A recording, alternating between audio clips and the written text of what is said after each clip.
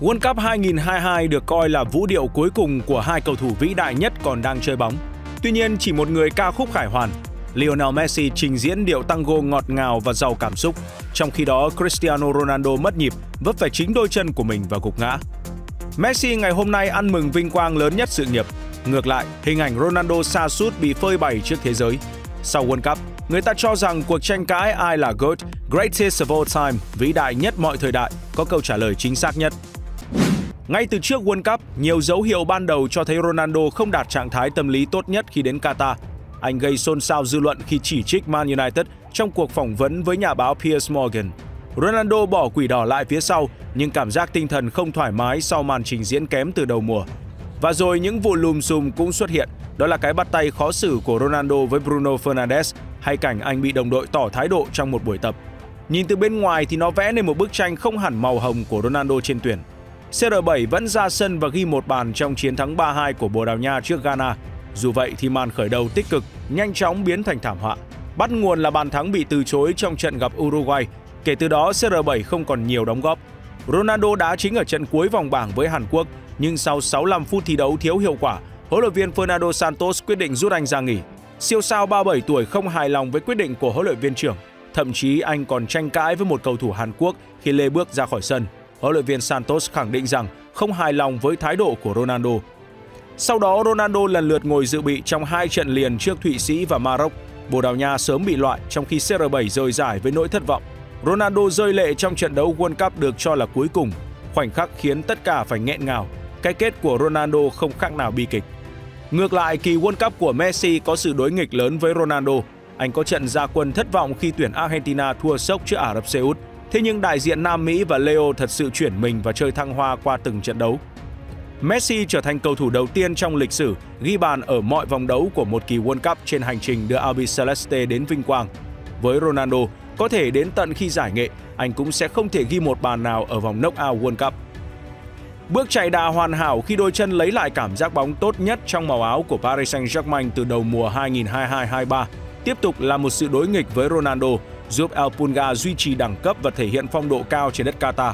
Anh liên tục kéo đội bóng tiến lên bằng những khoảnh khắc đầy cảm hứng. Khác với trận chung kết World Cup 2014, El Pulga có niềm tin lớn vào bản thân và tập thể Argentina hiện tại. Ở khoảnh khắc anh bước lên thực hiện cú đá 11m đầu tiên trong loạt sút luân lưu, người ta nhìn thấy trong ánh mắt của Messi có ý chí của vô địch, không một chút sợ hãi. Sau trận chung kết, có lẽ cuộc tranh luận về cầu thủ vĩ đại nhất mọi thời đại, GOAT, Greatest of all time, cũng khép lại. Messi giành được mọi vinh quang mà một cầu thủ có thể. Ngược lại, giấc mơ kết thúc là thông điệp của Ronaldo sau khi bị loại sớm ở Qatar. Ở giải đấu lớn nhất, nơi giúp các huyền thoại làm nên tên tuổi, Messi chinh phục được. Sau tất cả, Messi có thể mãn nguyện với cái kết đẹp, còn với Ronaldo, điều ước khó thành hiện thực. Giấc mộng của Ronaldo có lẽ mãi mãi giang dở, anh vẫn là huyền thoại, di sản không mất đi Tuy nhiên, Ronaldo phần nào để lại tiếc nuối. Anh trở thành cái tên tiếp theo nối dài danh sách những huyền thoại chưa từng vô địch World Cup như Michel Platini, Johan Cruyff, Marco van Basten, Frank Puskas hay Alfredo Di Stefano. Còn với Messi, chiếc cúp thế giới đưa anh ngang tầm với những Pele hay Diego Maradona.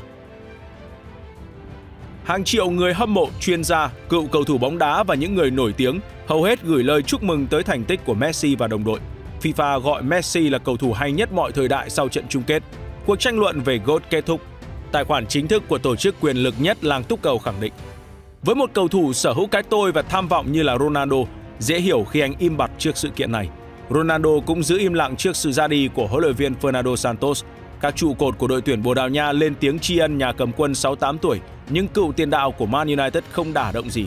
Theo Daily Mail, điều này đến sau khi Ronaldo được cho là xuất hiện mâu thuẫn với huấn luyện viên Santos trong thời gian diễn ra World Cup. Không chỉ gặp vấn đề ở Man United, cảm giác CR7 cũng không thoải mái với hoàn cảnh của mình khi lên tuyển.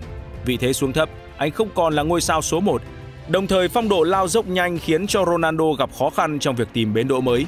Chỉ hai câu lạc bộ Trung Đông đưa ra lời đề nghị cho Ronaldo, đó là Al Nassr và Al Sadd.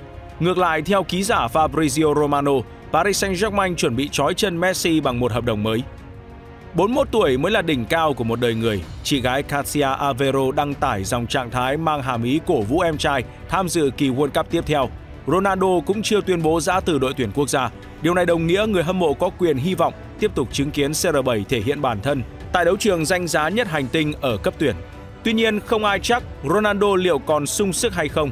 Ở tuổi 37, Ronaldo gần như đã bỏ lại những gì tinh túy nhất của mình ở sau lưng. Sau World Cup 2022, tương lai của Ronaldo là một dấu hỏi lớn.